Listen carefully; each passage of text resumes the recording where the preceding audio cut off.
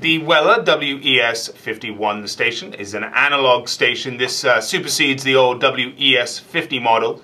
Uh, the unit ships with this magic wand which enables you to lock out the tip temperature. If you're buying these for a production environment you want everyone to solder at say 650 Fahrenheit set it to 650 hold that there. The light will blink. Your temperature will be locked out.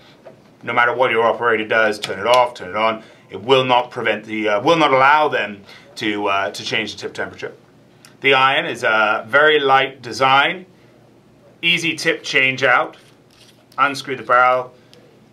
You've got an ET series tip here. Very, very low cost tip. The ET series of uh, tips go from anywhere from uh, $3.80 to $4.80.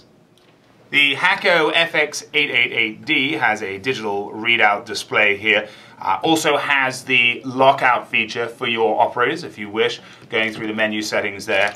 The soldering iron stand has the standard cleaning sponge and also Hakko's cleaning wire, goes right in there. The slight difference on this station is it's 65 watts of power, so it is a little bit more powerful than the Weller WES51. Uh, the soldering tips are also a little bit more expensive, uh, ranging anywhere from $5.50 on the low end up to $7.50. But it does put out a, a little bit more power. So you've got two very nice choices. You've got the Hakko with its 65 watts of power, or you've got the Weller with its 50 watts of power, but a significantly lower cost of ownerships on your, uh, on your soldering tips.